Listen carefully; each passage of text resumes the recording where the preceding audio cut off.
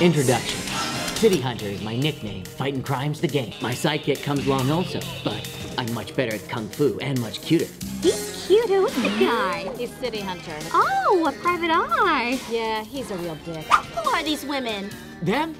They're crazy women trying to kill me. You've got the gun. Huh? I am Mr. Imamura. My daughter, Kyoko, she's an only child and is a bit rebellious. Kyoko ran away. And you'd like us to get her back for you. He's extremely gentle with the pretty ones. Incredible. Him, I mean. Yeah, I knew that. The only thing we want is your money. If you cooperate, we won't have to kill you. Well, now, time for a little game.